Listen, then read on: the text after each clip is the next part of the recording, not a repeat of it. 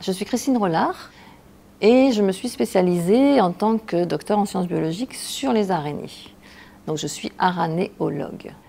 Donc la bizarrerie souvent c'est d'imputer aux araignées des mots dont elles ne sont absolument pas responsables.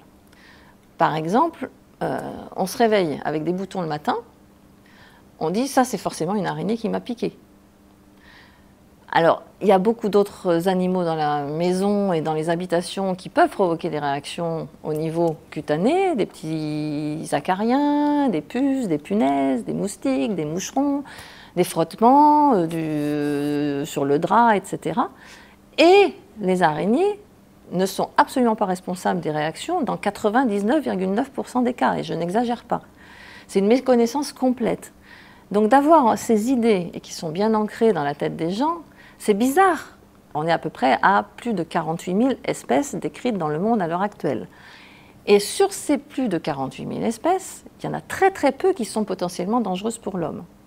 Et aucune, contrairement à ce qui est raconté en général dans les médias, n'est mortelle pour l'homme.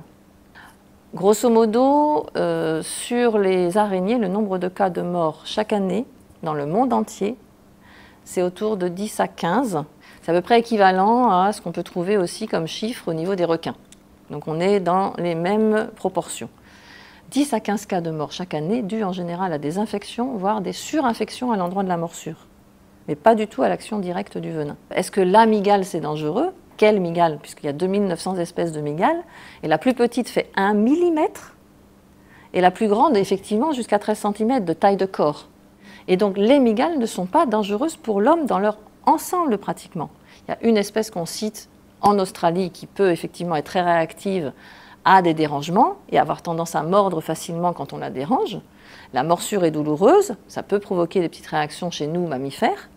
Mais là-bas, en Australie, ils ont en plus euh, le sérum qui a été fabriqué depuis les années 1980.